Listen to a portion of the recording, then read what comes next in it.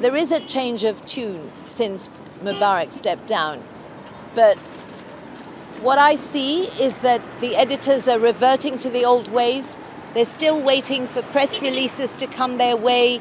And I feel that there are still instructions being given to the uh, heads of the news sector. Before, it, it may have been the presidency or the interior ministry. Now I believe it's the Supreme Military Council.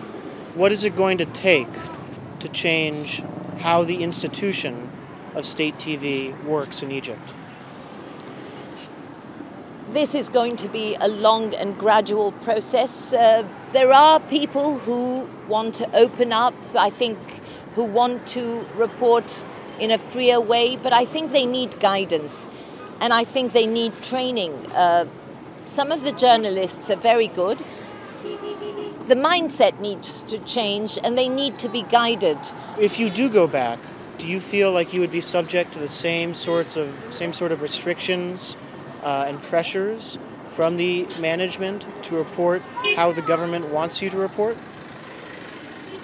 Maybe not as much as before.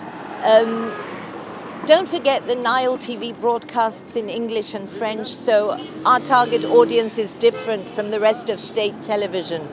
And throughout the years I've been there, I never really felt restricted. Uh, I, I, only got instructions when the uprising started, never before. I have been given this great opportunity to interview American Secretary of State Hillary Clinton.